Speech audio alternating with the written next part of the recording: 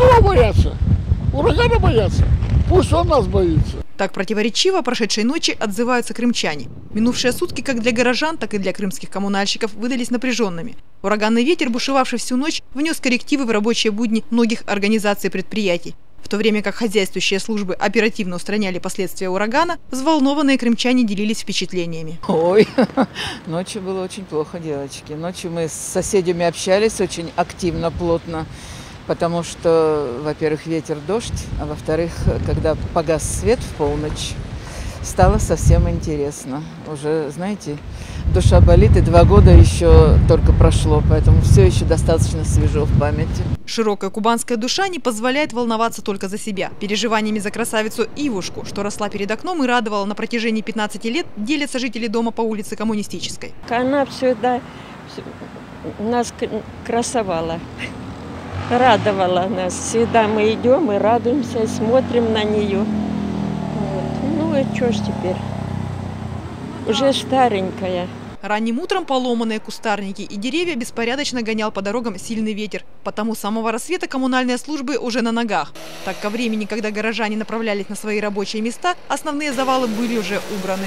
Много хлопот ночная стихия доставила и рабочим городских электросетей. Порывы проводов и, как следствие, отсутствие электроэнергии парализовали работу многих светофоров на улицах города. В домах местных жителей почти до обеда отсутствовал свет. Не было его и в районной поликлинике. Там всему виной старое дерево. В связи с сильным ветром упал тополь э, на электролинию передач, потянул на себя опору, обломила опору. Сейчас опору убираем, грузим, демонтируем. Ну, как бы все в наших силах справляемся, как можем. В кратчайшие сроки подадим свет жителям и поликлиники. Так что не имейте волнения, все в порядке, все хорошо, все под контролем. Вместе с тем, отсутствие света на работу медицинского учреждения никак не повлияло, рассказывает заведующая специализированным отделением поликлиники Светлана Ивахненко. Работа поликлиники не нарушена. Прием врачей ведется во всех кабинетах.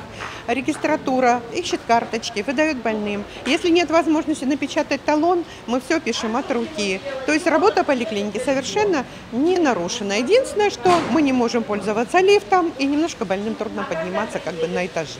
Ураганный ветер, что устроил беспорядок в городе, был настолько сильным, что ломал не только деревья. Обрывал линии электропередач, обрывал всевозможные вывески и плакаты, ну и буквально с корнем выворачивал рекламные стеллы. Немного утихший, но продолжающийся в настоящее время ветер не перестает динамично подкидывать всю новую и новую работу коммунальным службам. У работников МФЦ не хватает ни рук, ни техники. И на помощь им пришли такие предприятия, как Горзеленстрой и крымские коммунальные сети. Поэтому то там, то тут можно видеть, как идет уборка улиц и парков, ремонт проводов и электрических сетей. Юлия Алберова, Александр Трембачев, Олег Кедик, телерадиокомпания «Крымский экран».